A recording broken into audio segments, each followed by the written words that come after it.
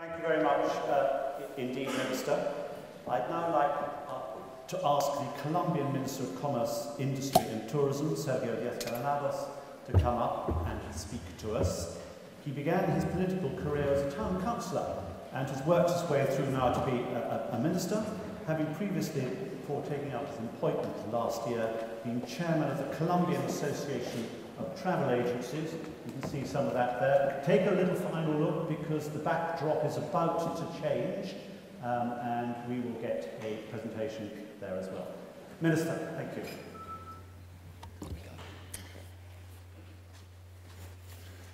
I would like to begin by thanking UKTI and ProExport, as well as the Colombian Embassy in the UK, for this opportunity to speak today within the framework of President Juan Manuel Santos' official visit to the United Kingdom. I would also like to thank all the business people from both the United Kingdom and Colombia who are in attendance today, given that it's you who will be building the new and solid business relationships between our two countries.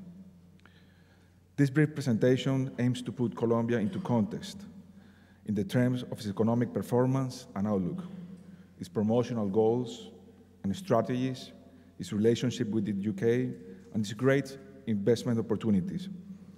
So with this in mind, I hope this presentation both interests you as well as encourage you to invest in Colombia. But first, to put things in a broader context, we are living in a moment of concern, concern of the future growth of the economy, and this past September, the IMF warned about a crisis of confidence in the developed economies, which is now coming to be in countries such as Spain, Italy, and Greece. This is a moment that requires audacity and determination, and the answer lies in the ideas of many of the classic economics thinkers of Great Britain, as well as the strategies that our government are employing this moment, such as boosting innovation, investment, and sustainability. So we see that it's necessary to use trade as a bridge to development of the private sector for goods and services and to boost investment flows. More importantly, we must resist the temptation of protectionism, which will be none other than a slippery slope into global stagnation. Now, with this as a background, let's consider Colombia economic performance and outlook to get a sense of where the country is and where it's going. First, Colombia consists of five regions, each of which offer diverse opportunities for investment from the Pacific coast to the Atlantic coast, from the mountains to the plains, a country that's the size of France and Spain combined.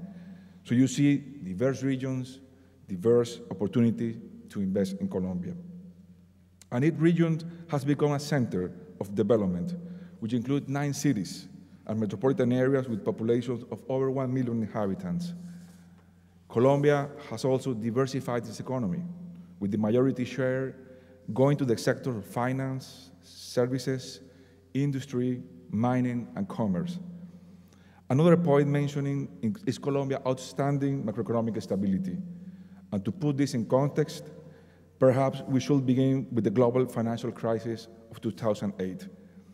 This crisis neither dragged the economy down nor delayed its recovery.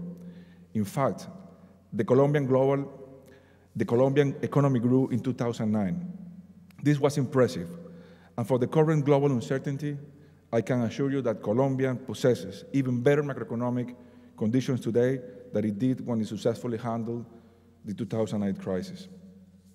Moreover, Colombia has become an upper middle income country and this means a growing number of consumers.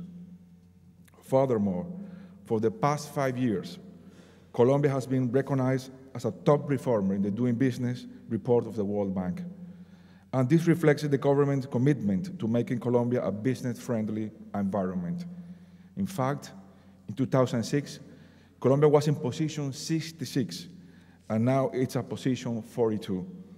Nonetheless, by 2014, we aim to be among the top 20 countries in the Doing Business ranking. So in terms of our climate business climate, we are rolling back the red tape and rolling out the red carpet. As for Colombia workforce, it is among the most competitive in the region. In fact, Colombia's human resources rank fourth in Latin America for level of education and training, second for ability of skilled laborers, and first in productivity according to Price Waterhouse and Coopers.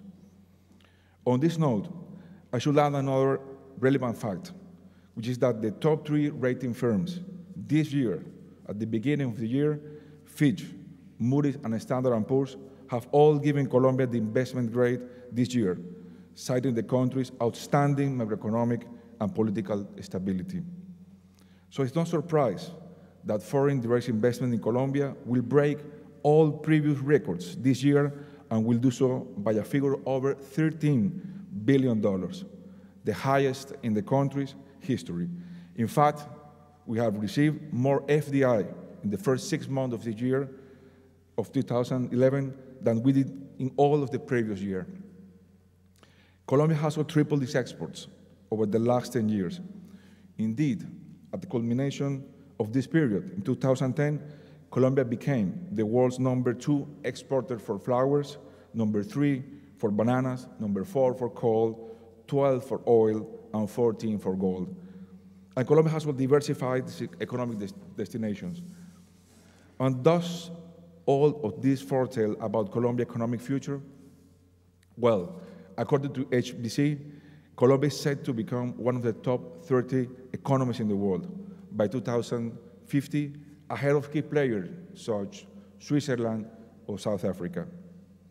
And so the world is talking about Colombia as the next Brazil, the new star of the South, and the country to watch in the hemisphere, or just a wonderful place to enjoy. Here is a picture of Anderson Cooper, one of the most important hosts of CNN.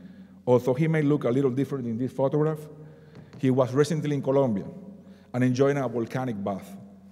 When he posted this picture in Twitter, asking his fans to guess where he was, the response he gave was Colombia.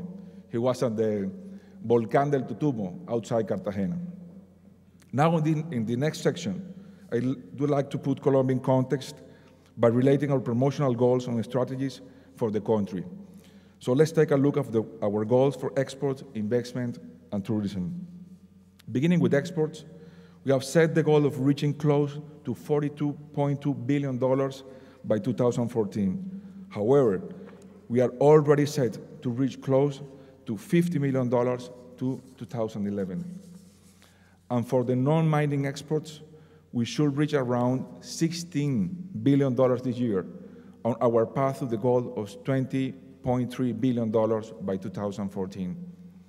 In FDI, we have set the goal of reaching $13.2 billion by 2014. And as I mentioned before, and the President Santos mentioned too, we are already on track to exceed the $13 billion this year alone.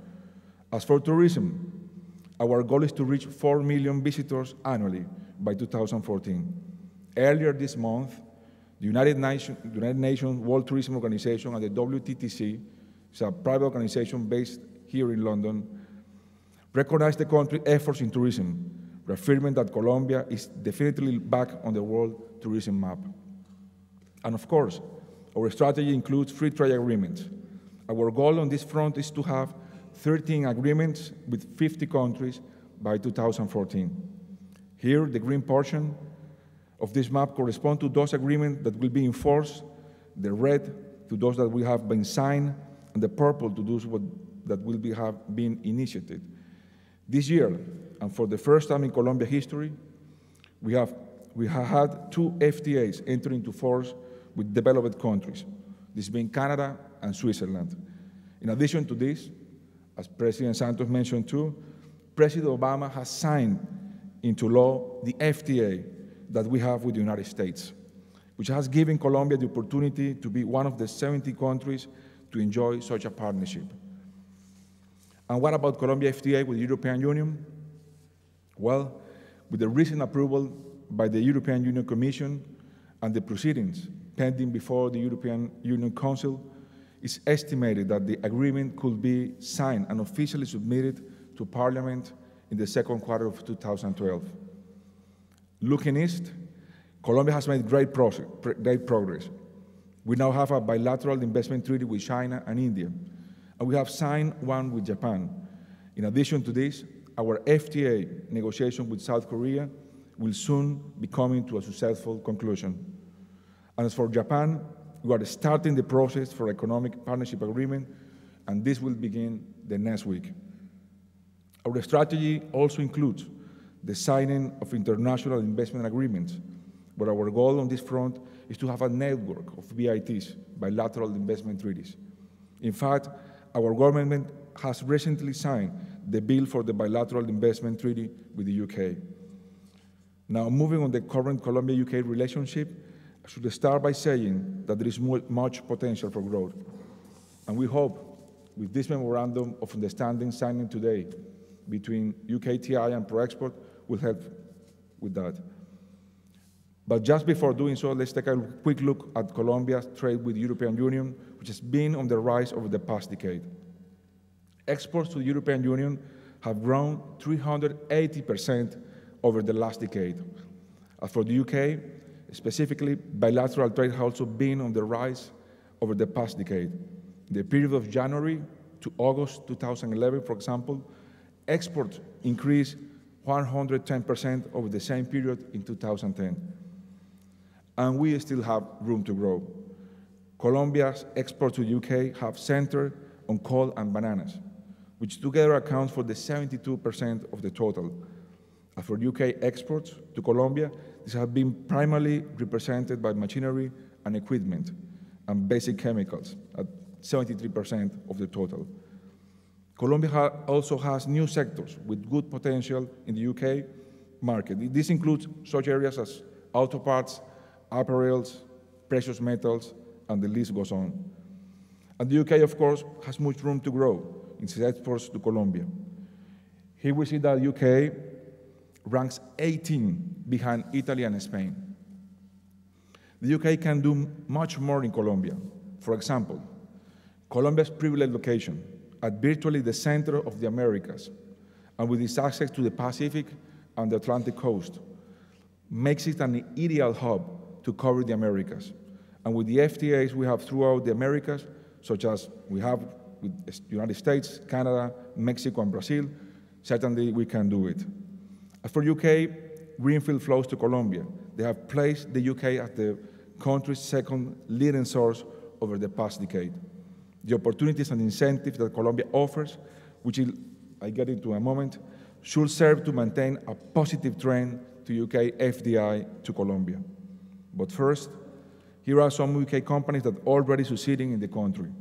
They included major players in the sector of our industry, pharmaceutical, financial, hydrocarbons, metallurgy, mining, BPO, and related services. These UK companies, along with the Colombian government and private sector, need your strong support for the Colombia-European Union Free Trade Agreement, and we believe that with such support, we will see the approval of the agreement by the summer of 2012. Before leaving this section, I should add that tourism from the UK to Colombia has increased as well. The number of UK travelers to Colombia for the period of January to September 2011 is almost double what it was for all of 2010. Now, for the last section, investment opportunities in Colombia. I will approach this opportunity from three paths. The first of which is Colombia road locomotives. President Santos explain exactly the purpose of these road locomotives. These road locomotives consist of five sectors, which have been identified as central to the growth of the Colombian economy. They are, in effect, five locomotives that drive the economy onward, and they include mining, infrastructure, innovation, housing, and agriculture. Through these five locomotives, the government goal is to increase the economy by 6% every year. In the case of mining and energy, Colombia has great potential. As I mentioned earlier, in 2010, we were number four in coal and 12 for crude oil. We also generate significant quantities of hydropower and have a great capacity for the production of biofuels. As for infrastructure, it presents both a challenge and an opportunity. A challenge because the lack of infrastructure affects the country's competitiveness, but at the same time, it's an opportunity because the government will be offering concessions and investing important budget resources. The President Santos mentioned around $13 billion in infrastructure for the next three years over the years to come. As for innovation, I can say that the sector will be receiving substantial support from the government. Indeed, we'll be directing 10% of mining-related royalties toward innovation. In this manner, the government will invest $1.5 billion over the next three years to improving innovation in all sectors. And there will also be substantial support for the sectors of housing and agriculture. In the case of housing, the government goal is to construct 1 million new homes. Over the next three years, in the case of agriculture, the government goal is to utilize Colombia vast lands for the cultivation of new crops. It should be noted that our use of this available land goes harmoniously with our efforts to protect Colombia's environment. The second path of opportunity in Colombia rests in the country's productive transformation program. This program is a public-private partnership where the stakeholders, together with the government, agree on specific goals in order to develop competitive industries, promote value addition, innovation, and in turn, job creation and growth the economy. The working methodology for these sectors consists of the implementation of short, medium, and long-term initiatives found in each sector business plan. For each of one of these sectors, we have a business plan built with the private sector in order to reach the goals. The general objective of which is to remove barriers, bottlenecks, and essentially bridge the gaps in productivity. And it's worth mentioning that the Productive Transformation Program has been selected as one of the most innovative governmental programs in the world by McKinsey and Company. And given this, the program has been invited to attend the Challenge of Government conference at the new School of Government at Oxford University this December. So the Productive Transformation Program aims to generate $12 billion in exports from the 12 sectors that compose it. Here, the services sector will account for $2.2 billion, the manufacturing sector will account for $8 billion, and the agro-industrial sector will account for $1.3 billion in 2014. These Colombian sectors have been identified together with the private sector as having high potential for becoming solid players, players in the global market in the midterm. And they are in sectors we are with high growth rates, actually. Overall, the important message here is that we have a program for working closely with the private sector, where the government is on the same page, listening to the industry and needs and offering support. So for the three paths of opportunity in Colombia, we have covered the five road locomotives and the sectors in the productive transformation program. Now we'll look at the third, some government incentives. In particular, we will look at Colombia's free trade zones. These free trade zones allow business to advance with significant fiscal incentives, such as 50%, 15% income tax, 0% in trade tariffs, and access to the local market as well as to international markets where Colombia has FTAs. There is currently close to 11 million square meters of industry located in such free zones. And this year, we have close to 4 million square meters more that are available and ready to use. Even so, this figure will rise to around 9 million square meters by 2014. In addition to this, the majority of these free trade zones are located near to one another and close to our competitive ports on both the Pacific and the Atlantic coast.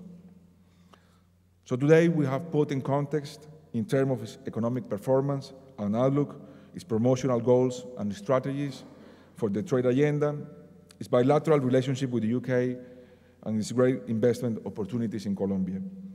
Now what remains for us is the successful passage of the FTA between Colombia and the European Union. And this will come to define our relationship in this century.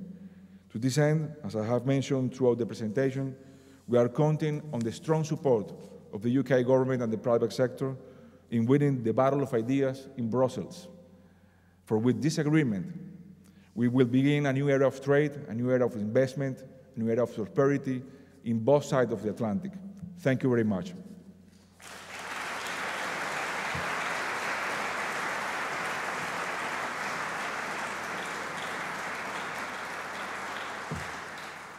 Thank you very much, too, Minister. Um, I like the idea of us winning a battle of ideas in Brussels. It's quite a challenge for us all. Uh, but what we have to do is turn this excellent framework of engagement or possibilities into real business. That's what coffee breaks are for, and the lunch break will be, be before as well. So please back here about 10.25, and let's hope that the coffee is Colombian. Thank you.